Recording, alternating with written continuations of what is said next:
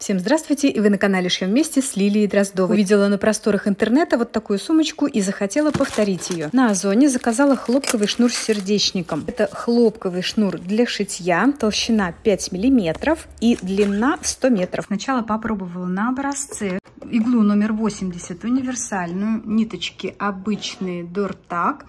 По операциям в машинке выбрала строчку зигзаг. Ширина зигзага 6 мм, длина стежка 3 мм. И получается вот так вот интересно смотрится соединение. Так что можно приступать к работе. Так как сумочка представляет из себя два диска, грубо говоря, которые продеты один сквозь другой, то ширина вот этого диаметра и ширина пересечения, они все должны быть одинаковые.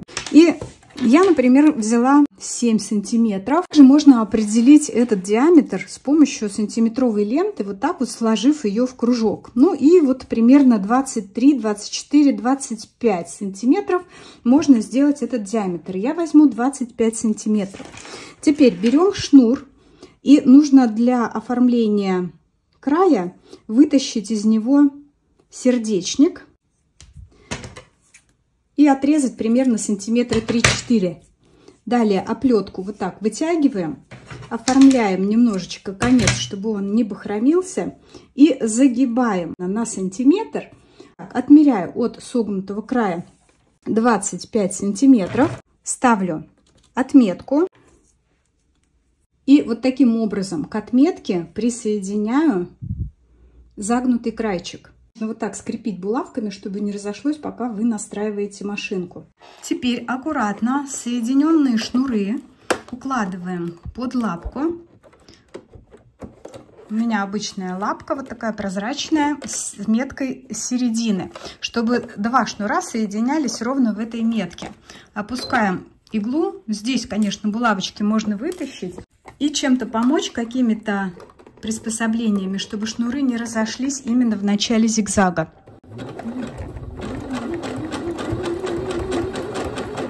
Итак, место скрепления прошло. И обязательно следим, чтобы диск получился плоским, то есть чтобы его не выгибало, иначе сумочка будет кривая. И таким образом настрачиваем на ширину на 6-7 сантиметров. Когда у вас получилась вот такая заготовка одной детали, вот здесь напротив начала мы должны завершить этот диск. Для того, чтобы завершить, я отступаю примерно сантиметра 3-4. Опять вытаскиваю сердечник, отрезаю его, расправляю оплетку, срезаю лохматый конец И вот таким образом подгибаю крайчик.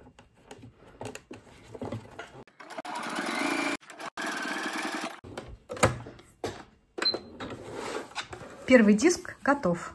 Далее опять подготавливаю край и отмеряю также 25 сантиметров. Только строчить нужно будет не отдельно такой диск, а через круг. Соединяю через круг соединяю с отметкой. Получается вот такое вот соединение. И вот так аккуратно можно слегка загнуть, чтобы был доступ, и продолжать делать строчки. Здесь важно следить, чтобы нижний диск также был плоский. Когда второй диск по размеру тоже настрочили, то есть два диска должны плотненько находиться в серединке друг друга. Настраиваем так, чтобы сверху не было соединений, то есть чтобы все соединения прятались как бы под кольцами. И теперь эти кольца между собой надо соединить. Вот здесь, конечно, место толстое, но надо его аккуратно пройти. То есть я соединила два кольца, чтобы они не расходились. И теперь прокладываю строчку по низу до начала ручки. Когда два диска у вас соединены по кругу, вот у меня остался шнур, здесь у меня будет начало ручки, нужно определить ее длину и определить место. То есть, чтобы ручка плавно выходила из радиуса. Не как бы вот так под углом и не очень низко. Ну вот смотрите, примерно вот так.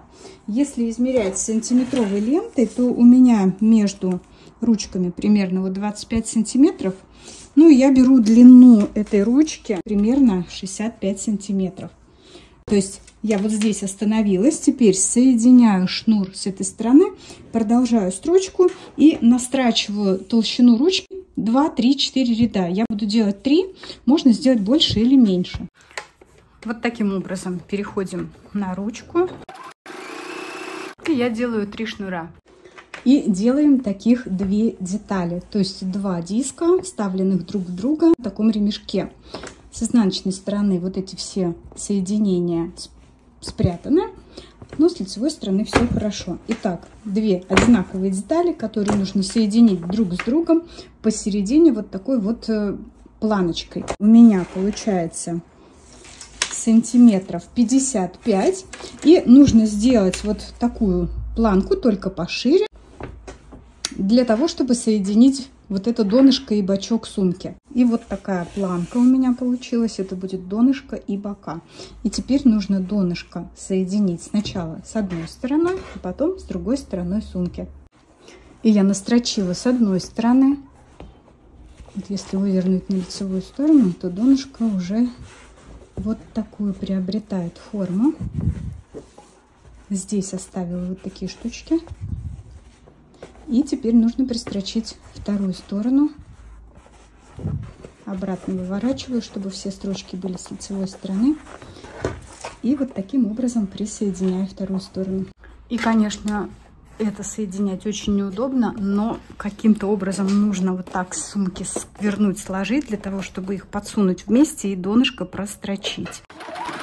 Большими участками вот так отгибая и соединяем до конца. Я просто скрепила сверху, чтобы у меня точно совпали все метки. И вот такая красоточка у меня получилась. Осталось только сшить внутренний мешочек на завязочках для того, чтобы из этой сумки ничего не выпало.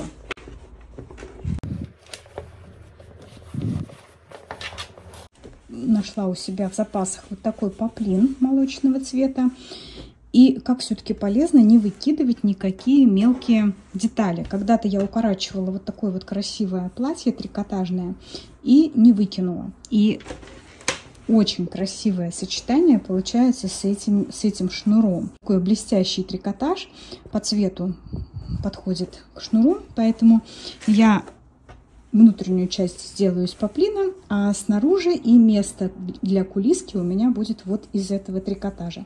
И я соединила эти кусочки вот в такие вот полотна. Они у меня все со швами, так как полосочки эти были не прямые, а был низ юбки солнца, то они, соответственно, неровные. Я их соединила. Так как здесь какое-то такое напыление, его утюжить нельзя, я швы все расстрочила, чтобы они держались. И, в принципе, даже не буду стараться сделать что-то прямоугольное. Вот такой формы, формы трапеции и сделаю себе внутренний мешочек. Поэтому просто вот так подровняю в прямом смысле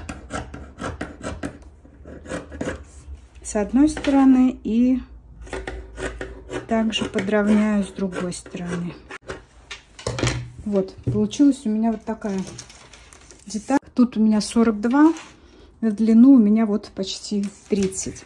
И вот эта часть подгибка у меня останется, а нижнюю часть внутренней сумки я выкрою вот из этого. И вот так на внутреннюю сторону я пришила поплинчик. Ну и, соответственно, вся сумочка вот такая вот. Осталось соединить только по бокам. Выворачиваю. И вот эти места, где будет кулиска, я вот таким образом застрочила, припуск подрезала, для того, чтобы, когда я выверну, вот здесь у меня уже будет обработанный край. И теперь от верха сумочки соединяем сначала сторону сумки, также стороны подкладки. Со стороны подкладки оставляем небольшое отверстие, чтобы все это вывернуть. На подкладке вот это вот застрачиваем. Убираем подкладку вовнутрь сумочки и застрачиваем кулиску. То есть вот у меня расстояние, которое обработано. Я оставила верх для юбочки для такой. И потом у меня 2 сантиметра кулиска. Итак, моя кривенькая внутренняя сумочка готова. Вот так она выглядит. Я отстрочила кулиску вот так внутри.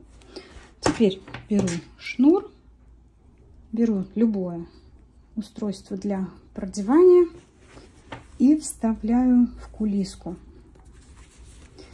Здесь нужно сделать два шнура. Один шнур концы в одну сторону, а второй шнур в эту же кулиску концы в другую сторону, чтобы можно было затягивать. Вот такие я оставила концы, примерно сантиметров по 20. И если мы тянем в обе стороны, то, соответственно, получается вот такая затяжка. То есть легко расслабить, легко затянуть.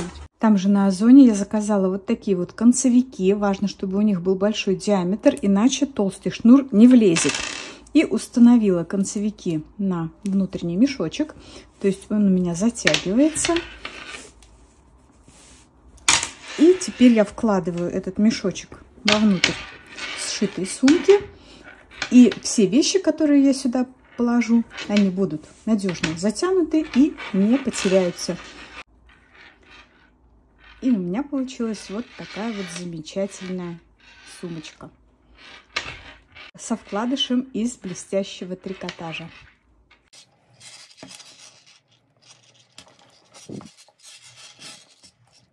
И на самом деле у меня от 100 метров осталось еще очень даже много. Так что можно сплести несколько сумочек. Пробуйте, и у вас тоже обязательно получится. Желаю всем творческих успехов. До скорых встреч!